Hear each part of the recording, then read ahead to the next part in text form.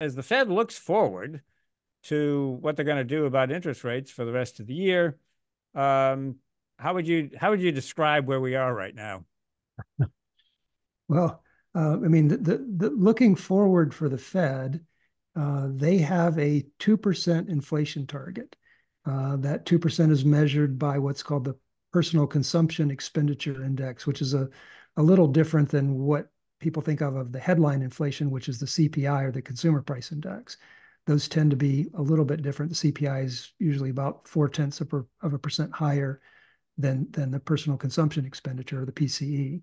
So you know the, the, the Fed's goal hasn't changed for the last you know since the early 2000s. The Fed has had a had a two percent inflation target, and they have consistently hit that target up until COVID. Uh, and then because of all of the the economic disruptions uh, during COVID, and because of you know the Fed's running up their balance sheet to try to uh, mitigate the economic and, and financial sector impact of, of COVID.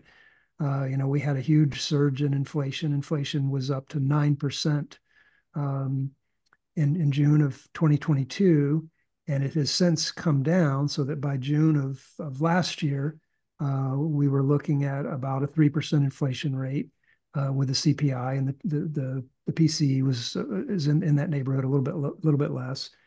And basically, for the past year, June of last year to June of this year, you know, we've been looking at about a three percent inflation rate. So, you know, the Fed has yet to, you know, make a significant um, movement. They've they've essentially kept their what they call their their their target interest rate, which is the, the federal funds rate, uh, they've kept that in, in the neighborhood of five and a quarter percent. And you know, all the financial markets keep saying, well, they're going to cut, they're going to cut, they're going to cut. But the Fed keeps saying, well, no, until we're convinced that inflation is coming down and we're going to get back to our 2% target, we're not prepared to cut. And so once again, as of last week, the Fed said, you know, we're going to hold, uh, we're going to hold constant until we're convinced that we're on a safe glide path to our 2% target. Uh, but we're not there yet. It's interesting. I actually went back and looked at the what the federal and every time the Fed meets, they put out sort of their projection of where they where they think we are and where we're going to head over the next year or two. And so back in June of last year, they had the the economy um, as measured by GDP growing at about 1.1% this year and 1.8% next year. So now they're saying they're much more optimistic. They've got uh, this year the economy growing at 2.1% rather than the 1.1. And next year they've got it growing at, at 2.0 versus the 1.8. So the Fed is much more optimistic on the economy, uh, both short term and, and for next year. Uh, but interestingly, last year they assumed that the Fed funds rate would have come down um, to 4.6%. And the reason that they were going to lower the Fed funds rate this year to 4.6% is they assumed that their their inflation index, the PCE, was going to be 2.5%.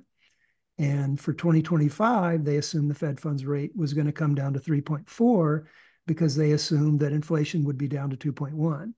So essentially, last year, they assumed by next year, uh, they would have inflation contained roughly at their target, and in the Fed interest rates would come down to 3.4.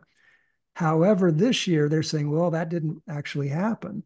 Um, they've got the Fed funds rate at 5.1 this year, uh, and inflation at 2.6. And for next year, they've got the Fed funds rate at 4.1, uh, and and inflation is at 2.3.